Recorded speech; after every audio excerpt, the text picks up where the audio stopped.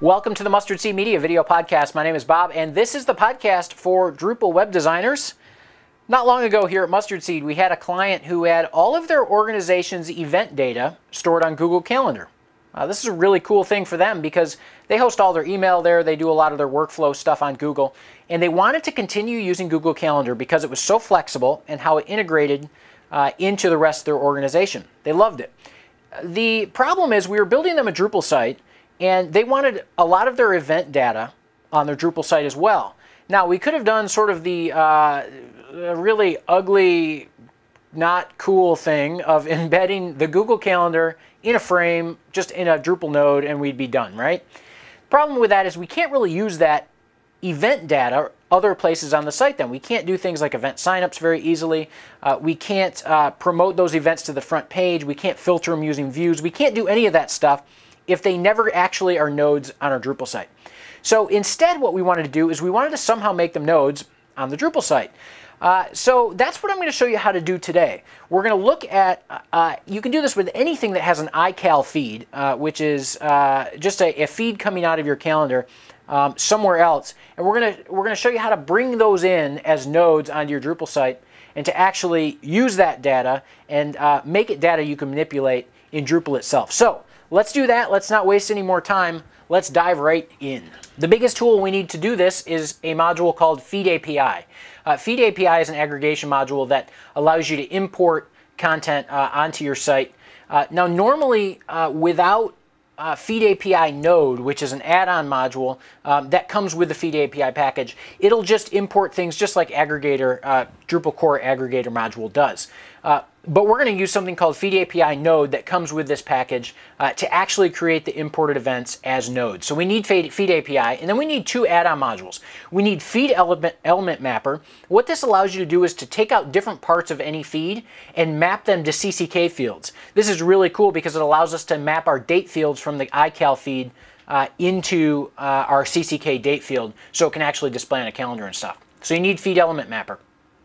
You also need iCal feed parser. Uh, feed API comes with a bunch of parsers uh, in and of themselves. A parser basically sorts out all the data uh, and organizes it so you can read it. Uh, iCal feed parser is made specifically to work with iCal feeds. Uh, so we need iCal feed parser to do it as well.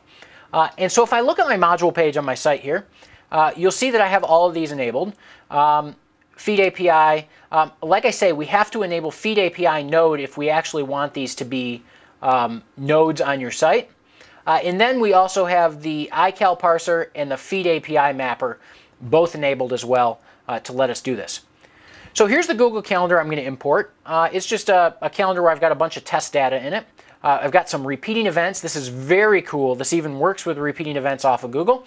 Um, and so here's my events. So what I'm going to do, um, in, in, a minute, I'm going to grab my iCal feed from here and we'll import this. But let's look at the setup right now. We're going to need two different content types for this. The first is some kind of node uh, content type where when we bring the events, or uh, yeah, when we bring the events into the site, uh, it's actually stored as this type of node. So I created a content type called event. I've got a date field, uh, which is a date time uh, CCK date. Uh, I've got a location, just as text, simply because Google Calendar allows you to import locations. Um, and I've got an event contact. This is sort of unrelated. Same with uh, field images as well. Really, all you need is a date. Uh, so you could have a title, a date, and then I've got, of course, a body for the description. So that's what my event uh, looks like. But then I've also got uh, this content type called feed. Now, this is automatically created when you enable uh, Feed API node. And uh, this is a new content type. And what this is, is this is the actual feed. So I'm to, whenever I want to import a new iCal feed, I'm to create a feed node, uh, which will ask me for that iCal address. And then um, it's going to create nodes out of uh, into the event. Uh, so the feed node simply contains the feed information. The event nodes contain all of the actual event data. So let's look at um, Oops, let me go back. Uh, let's look at the setup for this feed. Uh, and this is the important first step that you have to do once you enable all of these. Uh, so ignore the stuff at the top there. Um, what we want is this feed API stuff now down near the bottom. We're going to say this is a feed content type. This will be checked by default. Uh, we're going to supply the feed, the iCal feed, we're going to give it as a URL. Um, we're, uh, we, when we first set up this feed, it's very important to leave refresh feed on creation off uh, because otherwise it'll actually create all the items before we can map them to CCK fields. So leave that off. Um, whenever uh, we, we update this feed, yes, we want it to update existing items every time the feed is refreshed. Um, this is just refresh period. How often do we want it to refresh? Do we ever want it to delete stuff? And then you're going to have this option for iCal parser. Make sure you enable this iCal parser. And then we've got our processor settings. So for this, um, do we want to enable feed API node? Do we want to create these items as nodes? Yes, we do. So enable that. And then we've got our default settings. What type of content type should it use when it creates those nodes? I've got my event one that I created chosen here. Um, and then you've got some other stuff uh, that you can set up here. And then once we're all done, we're going to save that content. So now we are all set up. So let's go uh, to our Google Calendar. And I'm going to uh, go under Share this calendar and then to Calendar Details. And you can see that I've got an iCal address right here. So I'm going to copy this link. And then I'm going to go back to my site.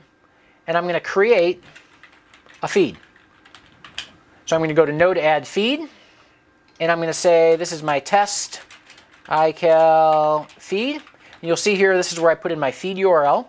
I don't want to refresh on creation, remember that, um, because I'm going to have to map this uh, using Feed API Mapper. Um, and then you can uh, do your other settings here. Just make sure the iCal uh, node or the Feed API is enabled, which it should be. And then I'm going to save it. Now, at this point, because I didn't have it refresh on creation, it imported no feeds or uh, no events. That's good because now what I have to do is I have to map this uh, iCal feed to CCK fields. So here are, this is the hard part. This is just the part to remember which ones to choose because there's so many different options here. Uh, too many to choose from if you don't know what to choose. Simply choose the title. You can map to title node. That'll bring in the title of the iCal event and map it to your node title. And then go all the way to the bottom. And what you want is um, right at the bottom here, you want option v event colon. That's all you want, and you're going to map that to um, iCal v event, okay, for your date field. Do that. I happen to have a location field, so I'm going to map that. I'm going to map my description to my body, and then I'm going to update this. And then what you're going to see is uh, if I go back now and I click refresh on my feed, this is going to import all my feed items. You can see six new items were created because that's how many I had in my feed. So now let's go to my calendar and you will see that they have all been included now, including the repeating events. Now, this is just a uh, standard Drupal calendar setup using views and calendar. Um, I'll go back to uh, a previous Mustard Seed media, uh, media video podcast where I uh, covered calendars. But all it did was import all of these into my feeds.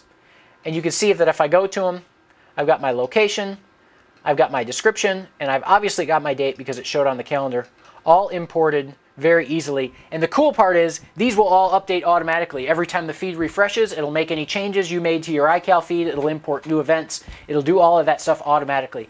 Awesome system. So if you want to import um, iCal events from another calendar uh, onto your Drupal site, this is the way to do it. Very good stuff. If you have any questions, hit us up over at mustardseedmedia.com slash podcast. Uh, you can find some of these links to these modules over there as well. And don't forget to check out my audio podcast over at geeksandgod.com. As always, if you're interested in supporting this podcast, you'll always find a banner at the top of the podcast uh, section of the Mustard Seed Media website where you can either donate or su- support a specific podcast. Uh, so if you want to see this podcast keep going, frequent episodes, uh, go over there and donate a few bucks. We would appreciate it. That's it. We'll see you next week on the Mustard Seed Media video podcast.